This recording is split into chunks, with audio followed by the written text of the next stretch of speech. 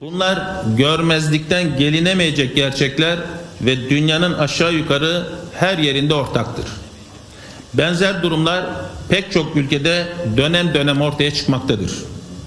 Sayısal verilere ve toplumun azalan psikolojik direncine bakıldığında ülkemiz salgın boyunca yaşadığı en zor dönemlerden birini geçirmektedir. Dünkü vaka sayımız 52.676, vefat sayımız 248'dir. Toplam vaka sayımız 3 milyon 798 bin 333'e, vefat sayımız 33 bin 702'ye ulaşmıştır. Bildiğiniz gibi Mart ayının başından itibaren vaka durumlarını il il gösteren bir harita yayınlıyoruz. Bu harita vakaların her yerde artışta olduğunu gösteriyor. Covid-19 risk haritamızsa nüfusun yüzde 80'inin çok yüksek risk grubundaki şehirlerde yaşadığını ortaya koyuyor. Şu anda iki olumsuz faktör güçlerini bize karşı birleştirmiş, daha hızlı yol almamızı zorlaştırmaktadır. Faktörlerden biri belirsizliğin verdiği gerginlik içinde zamanla yorulmuş olmamızdır. Diğer olumsuz faktör virüsün yeni varyantlarıdır. Yorgunluğun haklı sebepleri var. Mutasyon ve varyantlar konusunda ise genelde beklenti şansın bizden yana olmasıydı ama şu an için bu gerçekleşmedi. Dünyanın farklı ülkelerinden bilim insanları Covid-19'un eskisinden daha hızlı yayılım göstermesinin sebebini virüsün yeni varyantlarına bağlamaktadır. Türkiye'nin tecrübesi bunu doğrulamıştır. Varyant ortaya çıktığı ilk şekle göre farklılık göstermiş virüs demektir. Virüsün geçirdiği değişim bazen etkisiz hale gelmesine de neden olabilir. 2003'te SARS adlı salgına yol açan virüsün ortadan kaybolması buna bağlanmıştı. Bugünse kısa vadede bunun tersi olmuştur. Vaka artışlarında etkisi yüksek olan varyantlarla virüsün daha ciddi değişime uğramış bir şekli olan mutantların işi zorlaştırdığı bir gerçektir. Hızlı yayılım dışında bunlar hastalığın daha ağır geçirilmesine de neden olabilmektedir. Bildiğiniz gibi son haftalarda çok sayıda mutant ve varyant virüs tespit ettik. Yeni vakaların yüzde 85'i İngiltere mutasyonu kaynaklıdır. Virüsün değişime uğramış bu şekli ilk koronavirüse göre daha hızlı yayılmaktadır. Bugün virüsün dünyada yaygın olan tipi budur. Bunun dışında tespit edilen başka varyantlar var. Güney Afrika varyantı 11 ilimizde 285 kişide. Brezilya varyantı ise 9 ilimizde 166 kişide görülmüştür. Az sayıda olmakla birlikte Kaliforniya, New York ile B1 525 varyantı da tespit edilmiştir.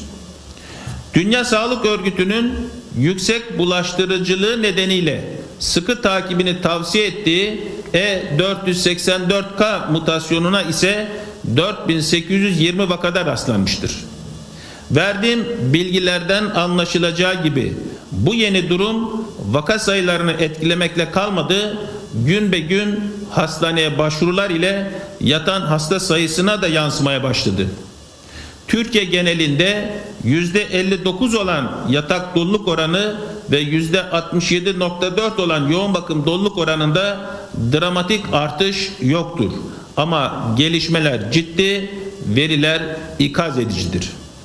Sağlık hizmetlerimiz halen genel sağlık hizmetlerini muntazaman muntazam olarak kapsayacak şekilde eksiksiz sürmektedir.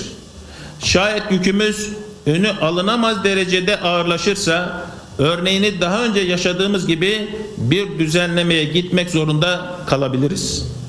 Aziz vatandaşlarım, bu bilgiler günlük hayatımızın COVID-19 test laboratuvarlarının vaka tablolarının gerçeğidir. Bu gerçek bizi uyarıyor. Gerçeğin uyarısına dikkat etmek zorundayız. Aşının etkisini hep birlikte gördük. Kasım ayında yoğun bakıma yatan hastaların yüzde 69'unu 65 yaş üstü oluştururken bugün bu oran yüzde 53'lere kadar düştü. Belirlenen gruplardan başlayarak aşı programı devam ediyor. En çok aşılama yapan ülkeler arasındayız. Yakın zamanda hem tedarik yoluyla aşı çeşitliliğini sağlayarak hem de yerli aşı üretimiyle toplum bağışıklığını gerçekleştireceğiz. Şu ana dek 18 milyon dozdan fazla aşı yapılmıştır. İkinci doz aşısını olan vatandaşlarımızın sayısı 7,5 milyonu bulmuştur. Bu bilgi ışığında ister Türkiye aşıda başarılı diyelim, ister başarısızdır diyelim. Şurası tartışma gö götürmez bir gerçektir. Türkiye dünyada en çok aşı yapan 6. ülkedir. Değerli vatandaşlarım, şartlar bizi hızla toparlanmaya davet ediyor. Günlük vaka sayıları 50 binin üzerine çıkmışken başkasından duyulacak uyarıya ihtiyaç olmamalıdır. Haritalar, tablolardaki sayılar güçlü birer uyarıdır. Salgının getirdiği kısıtlamalarla günlük hayatın ihtiyaçları arasındaki makul dengeyi tekrar kuralım. Örnek aramayalım. Biz örnek olalım. Aşı programı ilerlerken mücadelenin süresini kısaltalım. Bilmenizi istiyorum. Bu iş bitene kadar bir gün bile yalnız kalmayacaksınız. Bizi bir gün bile kararsız ya da yılgın görmeyeceksiniz. Sizden isteğimse moralinizi yükseltmenizdir. Her birinize selam ve saygılarımı sunuyorum. Ramazanınızı yürekten kutlarım.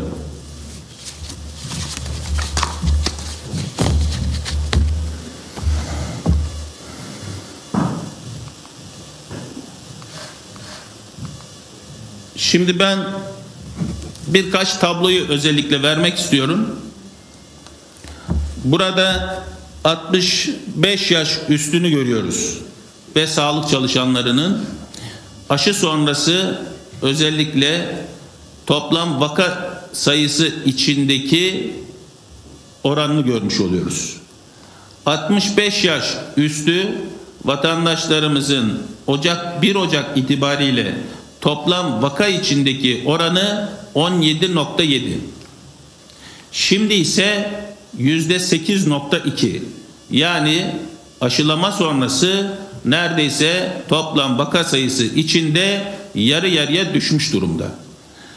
Ve bu dönemde aşılanan kişi sayısı ise 65 yaş üstü yüzde 76.4 yani yüzde 100 aşılanamadı halen yüzde 23.6 oranında 65 yaş üstü vatandaşımız aşısı tanımlandığı halde aşısını yaptırmış durumda değil. Bu da bu rakamların içinde olmuş oluyor.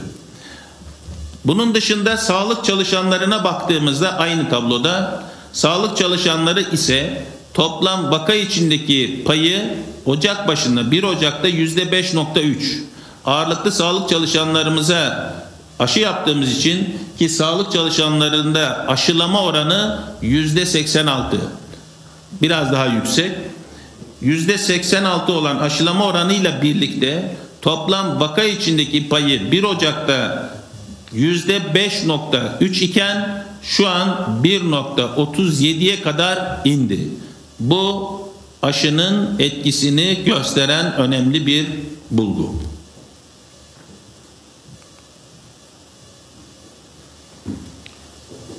Burada ise hastanedeki yata hastanede özellikle 65 yaş üstü ve sağlık çalışanlarının hastanedeki yatışlarını gösteren yatanlar içinde 65 yaş üstünde 57.4 iken şimdi yüzde 31'e kadar düşmüş durumda. Yani yatanlar içerisinde de neredeyse yarı yarıya kadar düşmüş olduğunu görüyoruz. Sağlık çalışanlarında bu daha belirgin çünkü aşılama oranı da daha fazla. yüzde 3.1 iken yatanlar içindeki oranı şu an 0.78. Yani dörtte bir hatta beşte bir oranında oranla inmiş durumda. Bu tabloda ise yoğun bakımda yatan vakaların vakalar içinde 65 yaş üstü ve yine sağlık çalışanlarının oranını görüyoruz. Burada yoğun bakımda yüzde 69.9 yani yüzde 70'ten yüzde 48.4'e 65 yaş üstündeki vatandaşlarımızın oranını görmüş oluyoruz. Sağlık çalışanları ise yüzde 1.1'den Ocak başında 1 Ocak'ta 1.1 iken toplam yoğun bakımda yatan hastalar içindeki payı şu an 0.25'e dörtte 1'e kadar inmiş durumda. Burada entübe vakalar içinde 65 yaş üstü ve sağlık çalışanları niye 65 yaş üstü ve sağlık çalışanlarını özellikle veriyorum? Özellikle erken dönemde sağlık çalışanları ve 65 yaş üstü vatandaşlarımızı aşıladığımız için aşının buradaki etkisini görmek açısından ki etkisi ilk, ikinci aşı 28 gün sonra yapıldığından ikinci aşıdan 14 gün sonra etkisini gördüğümüzden yani ortalama 42 gün sonra etkisinin olduğunu görüyoruz. O nedenle Ocak başından itibaren bir buçuk ay sonra bu oranların giderek bugüne doğru düştüğünü daha net göstermek için. Entübe vakalar içindeki 65 yaşın 65 yaş üstündeki vatandaşımızın oranı yüzde 71'den yüzde 54.4'e indiğini görüyoruz. Sağlık çalışanları ki alttaki kırmızı ile görülen kısım o da yüzde 1.1 iken şu an 0.15'e ki sağlık çalışanlarımızın yüzde 86 oranında aşılandığını tekrar hatırlatmak istiyorum. Vefat edenler içinde ise 65 yaş üstü vatandaşlarımızda vefat edenlerin de yüzde 65 oranında düştüğünü görüyoruz. Ve burada aşılama oranında demin söylediğim gibi yüzde 76.4 olduğunu tekrar ifade etmek istiyorum. Yani buradan şunu anlıyoruz. Aşının 65 yaş üstü ve sağlık çalışanlarına özellikle daha erken dönemde başlanıp yoğun yapıldığı için e, hem hastanede yatış hem yoğun bakım hem de e, entübe olan hastalar e, boyutuyla baktığımızda belirgin bir e, fayda sağladığını o nedenle vatandaşlarımızın bu noktada tanımlanmış olan kişilerin aşılarını yaptırma noktasında çok hassasiyet göstermelerini özellikle ifade etmek istiyorum. Teşekkür ediyorum. Şimdi sorularınızı alabilirim.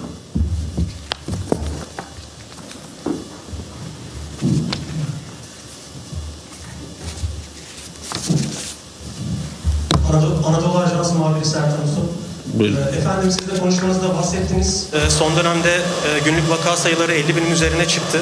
Ee, Bu çerçevede tam kapanma veya farklı önlemler e, söz konusu olacak mı? Teşekkür ederim. Teşekkür ediyorum.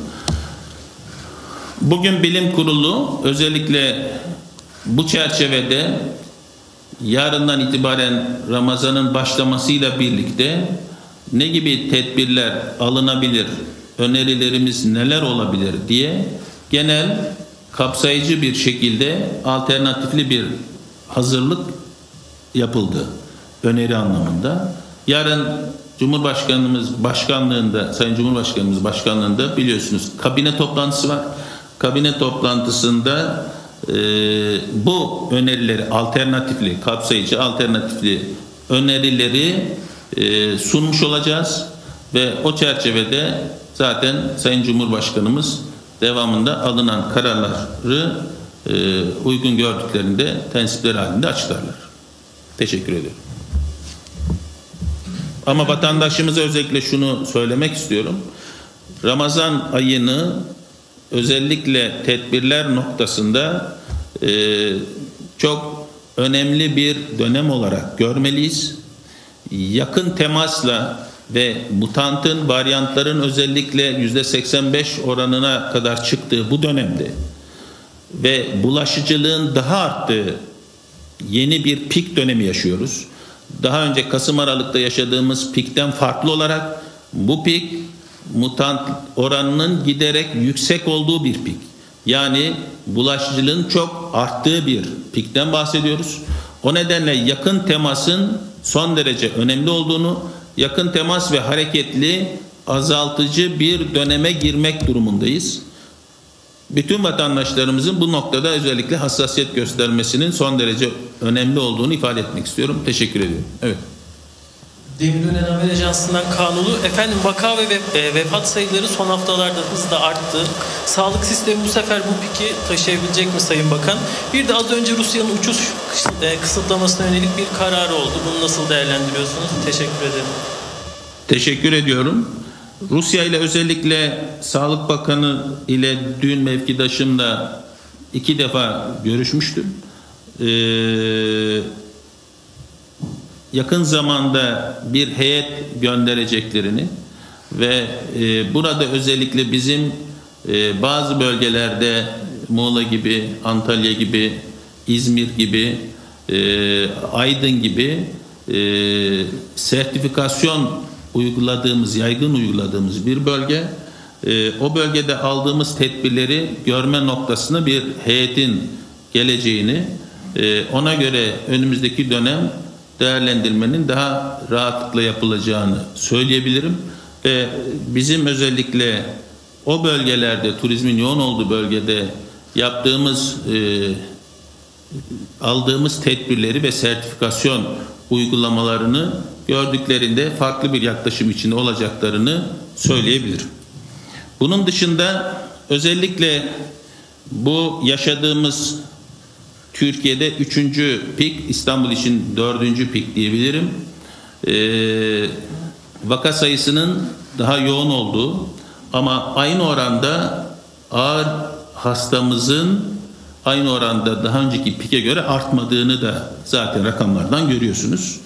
Ee, şu dönemde sağlık altyapımız açısından ciddi bir sorun olmadığını çok rahatlıkla söyleyebilirim.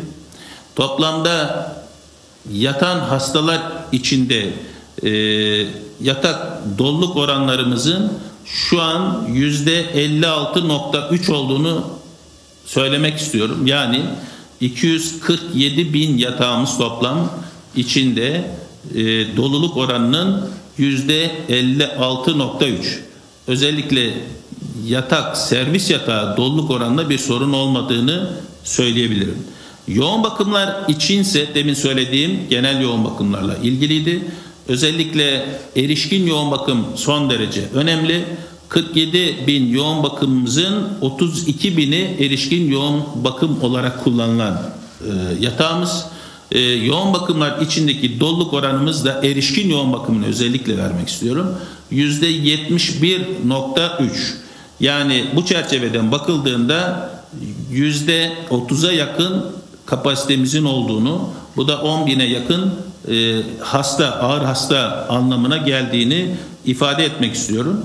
E, ama bazı illerimizde bu genel ortalama bazı illerimizde yer yer bir takım sorunlar yaşadığımız oluyor mu? Evet bazı illerimizde oluyor. Mesela yüzde 80'in üzerinde yoğun bakım doluluğu oran ben birkaç ilimizi söyleyeyim. Sinop, İzmir, Çanakkale, Bartın, Edirne ve Rize. Yoğun bakım doluluk oranı bu illerimizde yüzde seksenin üzerinde. Diğer bütün illerde yüzde seksenin altında. Ortalamada erişkin yoğun bakım anlamında söylüyorum yüzde yetmiş bir nokta üç. Şu an bir sorun olmadığını ama bunu yakinen takip ettiğimizi kapasiteyi giderek bunu anlamda arttırma gayreti içinde olduğumuzu ve şu an elektif vakaları da halen yapmaya devam ettiğimizi biz bir önceki pikte Kasım Aralık pikinde elektif vakaları biliyorsunuz ötelemiştik. Şu an elektif vakalar halen yapıldığı dönemde olan yoğun bakım doluluk oranı. Eğer bu anlamda önümüzdeki dönemde bir sorun yaşanırsa elektif vakalarla ve genel bir düzenleme ile Covid için ayrılmış yoğun bakım yatak sayımızı giderek arttırarak daha bu sorunu e, kolay yönetebileceğimizi söyleyebilirim. Yani şu an bir ciddi sorun olmadığını söylemek istiyorum. 80 üzerindeki illeri de ifade ettim. Teşekkür ediyorum. İhlas Haber Ajansı'ndan bir şey. Efendim Covid-19 bildiğiniz gibi dünyada bulaşmayan bir ülkenin olmadığı büyük bir pandemi. Benim genel bir sorum olacak bundan dolayı. Şu an hali hazırda birçok ülke ve firmanın aşıları, aşıları bulduğunu biliyoruz. Ee, biz de anlaşmalar üzerinde çalışıyoruz, imzalıyoruz. Ee, siz DSÖ başta olmak üzere bu firmaların yöneticilerine tüm insanlığın kurtulması için bu aşı formüllerini halkın kullanımına sunmasını daha önce teklif ettiniz mi? Bu benim kendi şahsi sorum. Ee, diğer bir sorum, sağlığın her şeyden önemli geldiğini biliyoruz. Şu an pandemide sağlık resmen ticarete dönmüş durumda. Pandemide sağlığın tamamen ticarete dönüşmesi konusunda ne düşünüyorsunuz? Teşekkürler. Teşekkür ediyorum. Ee, Ben fik- fikri mülkiyetten başlayarak ticarileşmeye de kısmen cevap vermiş olayım. Ee, DSÖ'nün biliyorsunuz iki hafta önce bir e, toplantısı olmuştu ve o toplantıya özellikle bakanlar düzeyinde basın toplantısına pek katılımın olmadığı, nadir olduğu bir toplantı idi. O toplantıda özellikle benim bütün dünyaya DS örgütü Sayın Tedros'a da ifade ettiğim şu oldu. Özellikle aşıyla ilgili fikri mülkiyet haklarının çözülmesi gerektiğini ifade etti. Yani bunu bir şekilde DSÖ çözmek istiyorsa, katkı sağlamak istiyorsa DSÖ de formül geliştirebilir bütün dünyada üretimin yapılacağı her ülkede veya hangi ülkede yapılabilir olacaksa e, fikri mülkiyet haklarının çözülmesiyle daha kolay erişimin dünyada sağlanabileceğini ifade ettim. Kendileri de bu konuda haklı olduğumuzu bu konuyla ilgili gayret ve çaba içinde e, olacaklarını ifade ettiler. Benim bu noktadaki yaklaşımım çok net. Bu anlamda fikri mülkiyet haklarını gerektiğinde dünyanın ki Dünya Sağlık Örgütü bunu yapabilir. Bu anlamda haklarını haklarına gerektiğinde çözüm getirerek e, üretme e, becerisi e, olan, e, potansiyeli olan e, bütün ülkelerde bunun önünün açılması gerektiği kanaatindeyim. Teşekkür ediyorum. Yani bunu en üst düzeyde de bütün dünyaya da Dünya Sağlık Örgütü'nün basın toplantısında da özellikle ifade etmiştim. Teşekkürler. TRT Haber Televizyonu'ndan Çağla Gül Tuncer. Efendim Ramazan döneminde aşılamada hangi aşamalara geçilecek, ne kadar aşı tedarik edilecek? Bir de Sputnik V aşısı ile ilgili çalışmalar ne aşamada? Teşekkür ederim. Teşekkür ediyorum. Aşı ile ilgili bizim daha önce de ifade ettiğim şekliyle aslında erişebileceğimizi düşündüğümüz ilk üç aşı söz konusuydu. Yani bir Rusya'dan Sputnik aşısı olabilirdi. İki Türk bilim insanlarımızın geliştirdiği Biontech aşısı olabilirdi. Üç Çin'de inaktif aşıya erişimi söz konusu olabilirdi.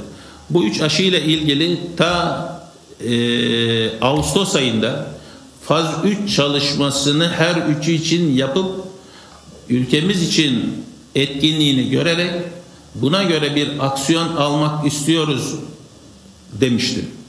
Ve o çerçevede de hem BioNTech hem de Sinovac için faz 3 çalışması Türkiye'de yapılmış oldu.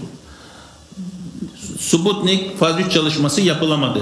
Daha önce de ifade ettiğim şekliyle toksikolojisi, kronik toksitesi e, bu anlamda tamamlanamadığı için onu da Türkiye olarak e, biz başlattık biliyorsunuz.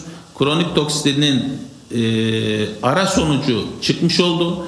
Ara sonucu bu anlamda e, olumlu görünüyor ve iletişimimiz, görüşmelerimiz e, devam ediyor. Ben şu son bir haftada üç kez Sayın Sağlık Bakanı Mev mevkidaşımla görüşmüş oldum. Hem Türkiye'de üretimi hem de erken dönemde verebilecekleri aşı miktarıyla ilgili. Erken dönemde e, aşıya erişim biraz daha düşük dozda görünüyor. Ama önümüzdeki 4-5 aylık zaman diliminde biraz daha miktar anlamında Sputnik aşısının Türkiye'ye gelebileceğini söylemek istiyorum. Bunun dışında Sinovac ile ilgili yaptığımız anlaşma Şubat ayı sonuna kadar bildiğiniz gibi 50 milyondu. Nisan ayı yani bu ay sonu için ikinci bir 50 milyon anlaşması yapıldı 100 milyon şeklinde. Ama bugüne kadar gelen aşı miktarı 26 milyonu geçmedi. Önümüzdeki haftalar ben e, bu anlamda e, biraz daha e, önemli sayıda aşının gelebileceğini e, tahmin ediyorum. Bununla ilgili izinlerin verildiğini ama üretimle ilgili e, ve e, sevkiyatla ilgili önümüzde 2-3 hafta içerisinde bunun gerçekleşeceğini düşünüyorum. Bunun dışında Biontech ile ilgili Uğur Hoca ile ta başından beri neredeyse her hafta iki defa görüşmüş oluyoruz. Bugün yine iki defa görüşmüş olduk. Toplantı, bilim kurulu toplantısından önce yine kendileriyle de görüştüm. Bugüne kadar 4,5 milyon doz aşımız geldi biliyorsunuz. Ayrıca biz opsiyonel olarak 30 milyona tamamlamak üzere bir sözleşme yapmıştık. Gelecek ay sonuna kadar yine belli bir miktarın gönderilmesi şeklinde görüşüyoruz. Ama bu miktarın Mayıs sonuna kadar çok yüksek olmayacağını söyleyebilirim.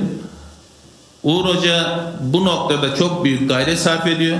Gerçekten e, başından beri Türkiye'ye aşı gönderme noktasında yoğun bir çaba içinde. E, bütün vatandaşlarımıza da selamları var. Toplantı öncesi özellikle konuştuğum için söylüyorum. Haziran ayı için 30 milyon doz aşıyı e, şimdiden söz verebilirsin dediler. Ve bunu arttırmak üzere de yani hem Mayıs sonu hem Haziran ayı dahil olmak üzere toplamda bunu daha da arttıralım e, diye e, görüşüyoruz. 10 gün içinde de bu rakamların en fazla ne kadar olabileceğini e, netleştirmiş olacağız. Yani şunu söylemek istiyorum. Şu an 4,5 milyon. Gelecek ay sonuna kadar biraz daha ilave olacağını tahmin ediyorum. Ama Haziran ayında en az 30 milyon doz BioNTech aşısının geleceğini söyleyebilirsin dedikleri için söylüyorum. Ee, 10 gün içerisinde de toplam bu 34,5 milyona ilave e, daha ne olabilir? e, nereye kadar çıkabilir onunla ilgili de 10 gün içinde netleşmiş olacak. Bütün bunlardan şunu demek istiyorum. Bizim Haziran sonuna kadar elimizde bu çerçevede yoğun bir aşının olacağını söyleyebilirim. Yani bizim normalde Haziran sonu itibariyle en geç Mayıs bilemediniz Haziran demiştim en geç Haziran sonu itibariyle 40 yaş üstünü aşılayabileceğimizi ama bunun 30-35 yaşına kadar da e, bu 30 milyon e, rakamıyla e, söyleyebilir duruma geldiğimizi ifade etmek istiyorum. O nedenle de vatandaşımız şundan emin olsun. Aşıyı çeşitlendirmek ve miktarı arttırmak için ta Ağustos ayından beri yoğun bir gayret içindeyiz. Dünyada aşı savaşının olduğunu da biliyoruz. Ama buna rağmen üretimi olmadığı halde dünyada 6. sırada aşıyı yapan bir ülkeyiz. En geç Haziran sonu olmak üzere bu anlamda 40 yaş hatta 30-35 yaşa kadar vatandaşımızı aşılayabileceğimizi söylemek istiyorum. Onun için de Ramazan dahil önümüzdeki 1-2 ayı yakın teması kapalı kalabalık ortamlar e, yeterli havalandırılmamış ortamlarda bulunmayıp yakın teması azaltan biraz daha tedbirlere özen göstererek e, kazanımlarımızı kaybetmeden bu dönemi geçirirsek aşıya erişimimiz için çok uzun, uzun bir zaman olmadığını ifade etmek istiyorum.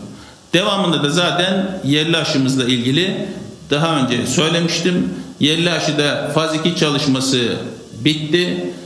14 gün sonrası için tetkikler e, alınıyor. E, zannediyorum 2 veya 3 hafta içerisinde e, faz 3 çalışmasına geçilebilir. Faz 1'de şu an devam eden iki tane çalışma var. Gelecek hafta üçüncü bir aşı daha ilave olmuş olacak. Yani bu anlamda Eylül ayında faz 3'ü bitecek olan e, ve öyle umduğumuz ilk aşımız devamında Ekim-Kasım'da da diğer aşıların e, biteceğini başarıyla e, sonuçlanırsa üretime geçilebileceğini ayrıca söylemek istiyorum. Teşekkür ediyorum. Evet. Hürriyet Gazetesi Meltem Özgenç. Sayın Bakan aşı hakkı olup da reddedenlerin sayısı nedir? Vatandaşlara bu konuda bir tavsiyeniz var mı? Teşekkür ederim. Ben aslında demin oranları verdim. Şöyle vermiş oldum, tersinden söyleyeyim. Sağlık çalışanlarının tanımlanan sağlık çalışanlarının yüzde 86'sı aşılandı. Yani yüzde 14'ü halen isterse tanımlandığı için gidip aşısını yaptırabilir. Yüzde 14'ün yaptırmadığını görüyoruz. 65 yaş üstü tanımlandı biliyorsunuz. 60 yaş üstü de ama ben 60 yaş üstü yüzde 40'larda şu an 60 ile 65 yaş arası. Ama 65 yaş üstü tanımlandığı halde şu an yüzde 76.4 yani yüzde 23.6'sı tanımlandığı halde zamanı geldiği halde aşısını yaptırabilmiş durumda değil. Ben demin ifade etmeye çalıştım. Aşının hem hastane yatışı hem toplam vaka içindeki payların düşüşü hem yoğun bakımdaki etkisini entübe hastalardaki oranını ne kadar düşürdüğünü söylemeye çalıştım. Dolayısıyla bizim tanımlanmış olan grubun, kişilerin hiçbir şekilde geciktirmeden erken dönemde aşılarını yaptırmalarını özellikle ifade etmek istiyorum. Bunun başka çözümü yok. Yani şu an görünen aşı ve ilaç. İlaçla ilgili somut bir gelişme dünyada daha yok ama aşıda önemli gelişmeler olduğunu görüyoruz. Erişimle ilgili her ne kadar sorunlarımız var ise de bu anlamda epey mesafe aldığımız görülüyor.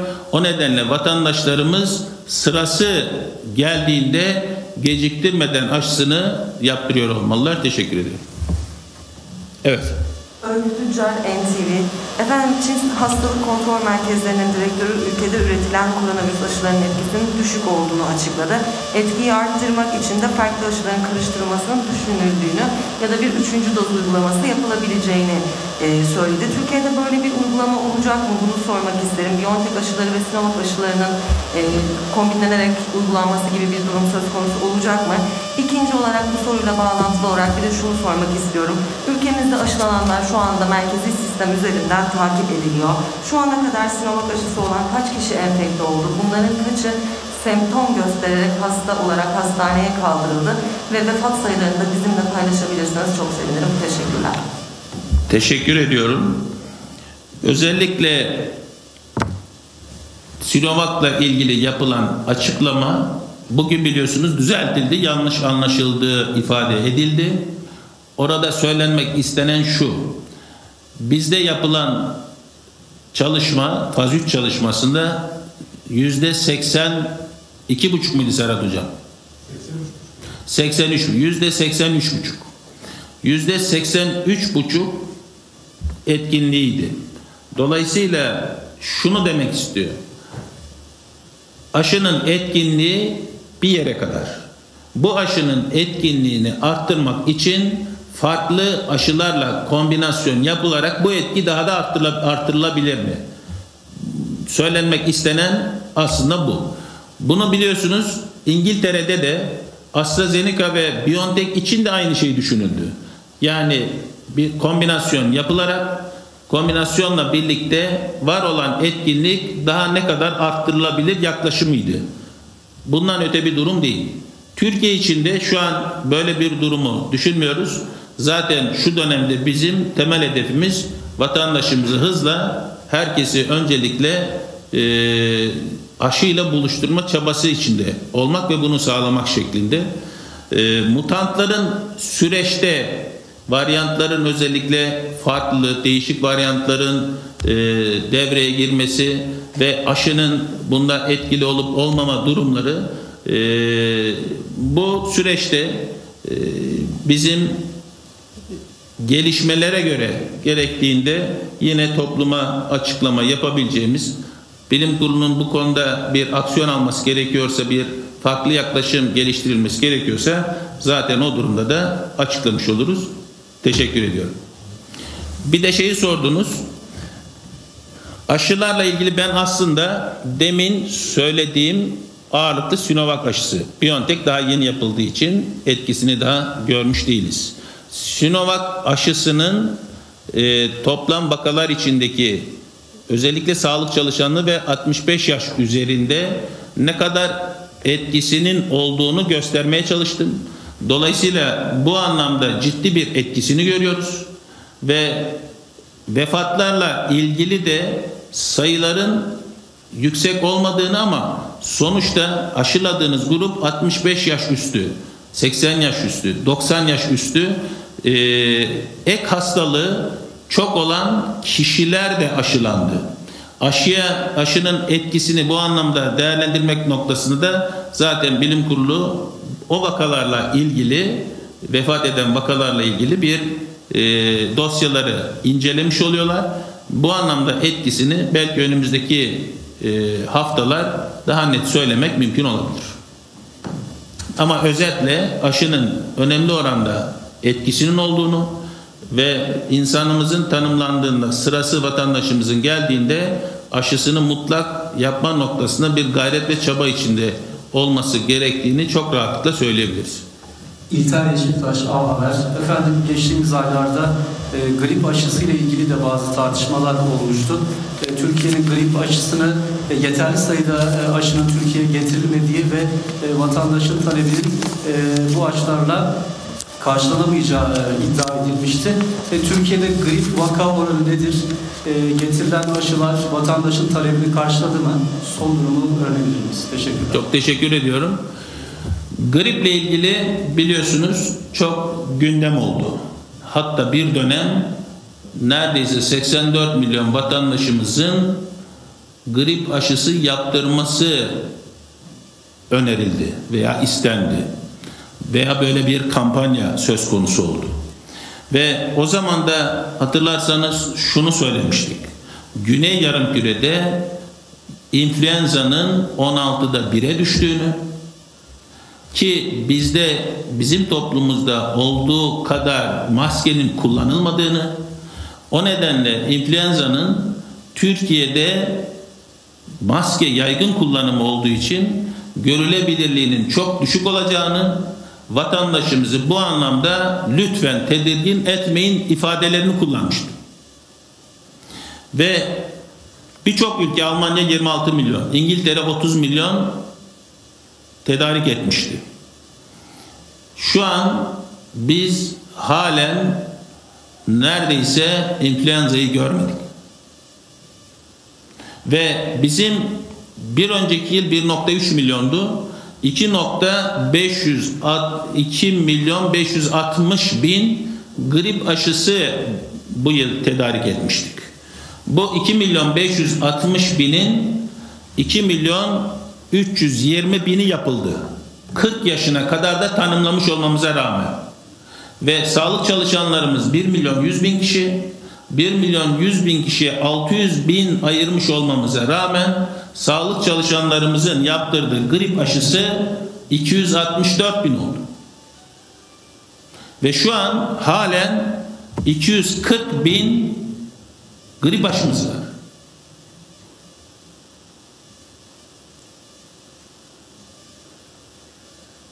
Ve influenza, influenza da halen yok. Ve ağırlıklı influenza bildiğiniz gibi çocukluk yaş grubunda daha sık görülür.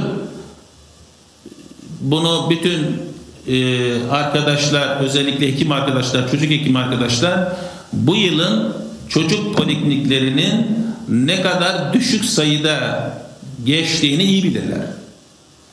Biz salgınları görmedik. O nedenle 2.560 yani 2 milyon 560 bin grip aşısı bile tüketilemedi. Tüketilemediği gibi biz influenza'yı da görmedik. Yani neredeyse onu da fazla yapmışız. Daha önceki 1 milyon 1.3 milyondan fazla yapmamız da doğru değilmiş. Ama bütün neredeyse 84 milyon vatandaşımıza grip aşısı yaptırın diye bir kampanya başlamıştı. Küresel firmaların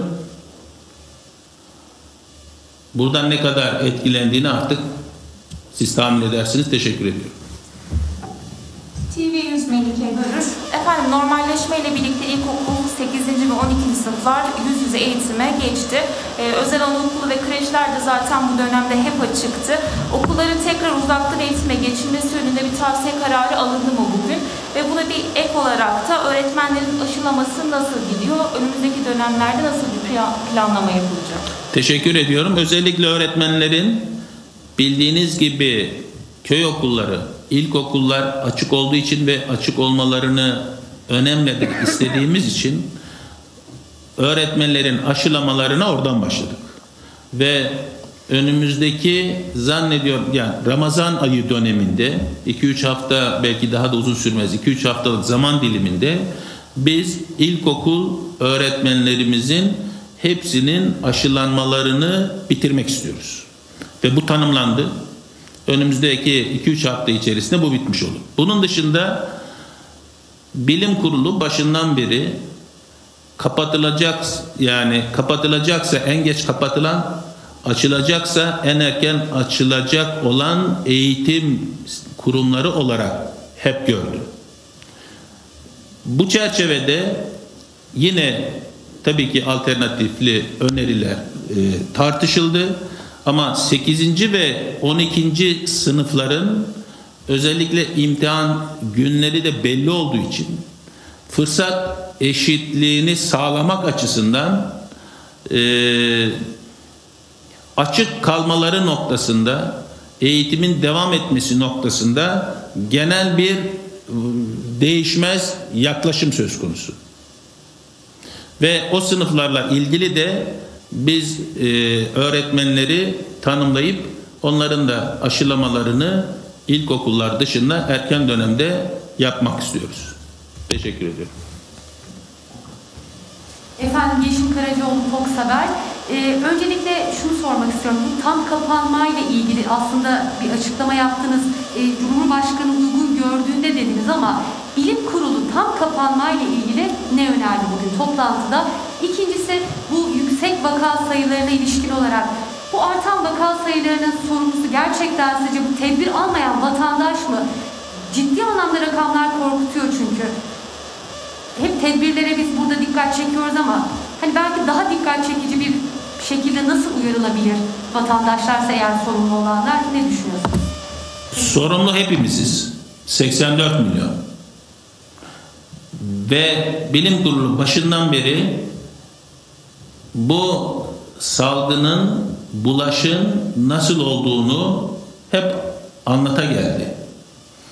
Ve özellikle şu dönemde varyantların da daha yoğun olmasıyla birlikte yakın temasla bu virüsün çok kolay bulaştığını biliyoruz.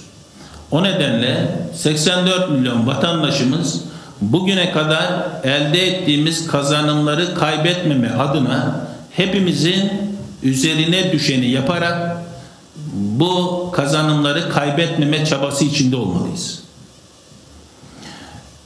Bunun dışında Sayın Cumhurbaşkanımız ifade ettiler. Ramazan ayını dinlenerek Ramazan sonrasını daha düşük vakayla sürdürelim, devam ettirelim ifadesini kullanmışlardı. Bilim kurulu da öneri anlamında alternatifli yaklaşımlarını ortaya koydu. Bunları ben yarın bakanlar kabinede sunmuş olacağım. Dolayısıyla kabinede tartışılır olacak alternatifleriyle birlikte. Sonuçta bilim insanı olarak sizin söyledikleriniz daha farklı olabilir. Ama toplumun sosyolojik yapısı da var, psikolojik yapısı da var, ekonomik yapısı da var. Bu dengeyi kurarak bir iradenin karar vermesi gerekiyor. Bu anlamda bilim kurulu da önerilerini yapmış olacak. Dolayısıyla alınacak kararlar tartışılarak bütün bu dengeler gözetilerek sonuçta alınmış olur. Ve Cumhurbaşkanımız da temsilcileri halinde zaten açıklamış olur tartışılan, önerilen ve tartışılan kararlar. Teşekkür ediyorum. Efendim CNN Türk Televizyonu Arda Erdoğan. Bugün bazı bilim insanlarının Biontech aşısının randevuya rağmen gitmeyenler sebebiyle ziyan olduğuna ilişkin açıklamaları oldu. Bu doğru mudur? Eğer doğruysa Sağlık Bakanlığı'nın elinde kaç doz aşının ziyan olduğuna ilişkin bir rakam var mıdır? Eğer tüm bunlar doğruysa bunu engellemek adına e, nasıl bir tedbir alınabilir? Teşekkür ederim. Teşekkür ediyorum. Bu özellikle çok hassasiyet gösterdiğimiz bir konu. Biz hatta kuruluşlarımıza şunu söylüyoruz. Bildiğiniz gibi flakon çözüldüğünde 6 kişiye uygulanıyor. 6 kişi randevuya geldiğinde flakonun açılmasını öneriyoruz. Dolayısıyla bu anlamda 6 kişi randevuya gelindiğinde flakon açılırsa bir kayıp söz konusu olmaz. İkincisi o flakon gün içinde kullanılıyor. 60 kişiye randevu verdiğinizi düşünün. 60 kişi için 10 flakon kullanılması gerekiyor.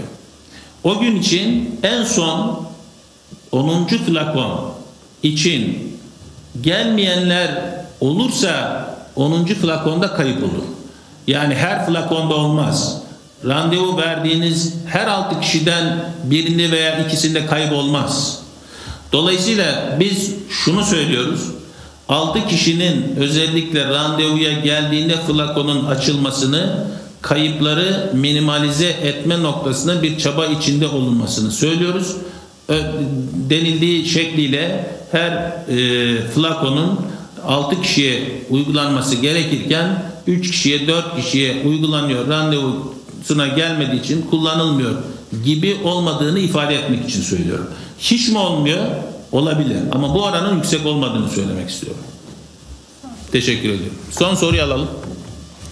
KRT Televizyon Ebru'dur. Ülkemizde kısa bir süredir Biontech ve Sinovac aşısının iki farklı aşının uygulandığını biliyoruz. Bu aşılardan Biontech aşısının Avrupa Birliği'nden onayı olduğunu ve aşı pasaportu için geçerli olduğunu biliyoruz. Ancak Sinovac aşısı ile ilgili böyle bir çalışmanın henüz olmadığını da biliyoruz. Çin'in ya da Türkiye'nin Sinovac aşısı ile ilgili Avrupa Birliği'ne onayına dair bir başvurusu, bir çalışması var mıdır, olacak mıdır? Teşekkürler. Teşekkür ediyorum. Özellikle Serhat Hocam burada bilirler. Faz 3 çalışması e, haftaya zannediyorum yayınlanmak üzere gönderilmiş olacak.